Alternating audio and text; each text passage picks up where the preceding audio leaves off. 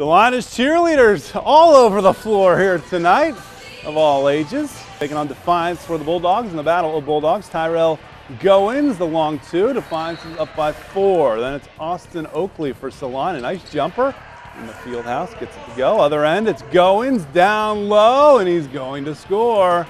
Keeping this one very tight as it was throughout. How about the quarterback, Brett Sweeterman? Nice jumper here, gets it and then Goins on the other end, floating this one in. Nice touch here.